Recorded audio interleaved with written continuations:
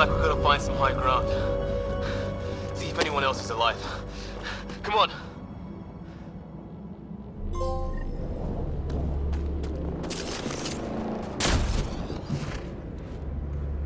Ryder,